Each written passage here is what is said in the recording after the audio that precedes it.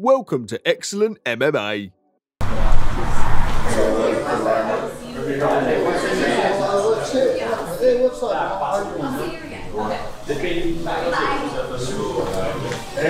Darren Till responds to Bo Nickal's comments.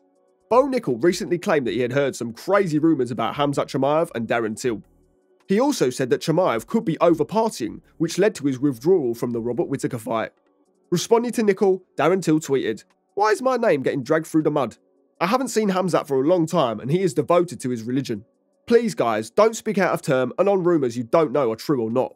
Just hyper fight in a different way. We don't tell lies. Dana White reveals Amanda Nunes can make a return. Dana White has hinted that Amanda Nunes can still make her UFC return despite retiring in 2023. Nunes announced her retirement after her 10th successful title defense at UFC 289. What happened with Nunes, another, I love Amanda Nunes. We have an incredible relationship. Is she And- coming back? Huh? Is she coming back?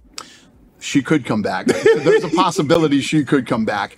Um, but again, a very unique individual in her own right. You know, Joe Rogan reveals the scariest striker in MMA history.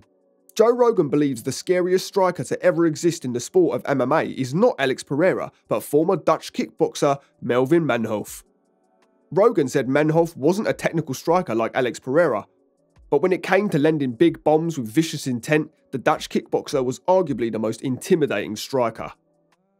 You want to talk about like the scariest striker ever in MMA? I think it's Melvin. He, Ever? he might not have been the best. He might not be like the best technical, like Pereira's probably the most technical, but Melvin was so terrifying because he would come at you guns blazing with them gladiator shorts on. Look at this. Boom!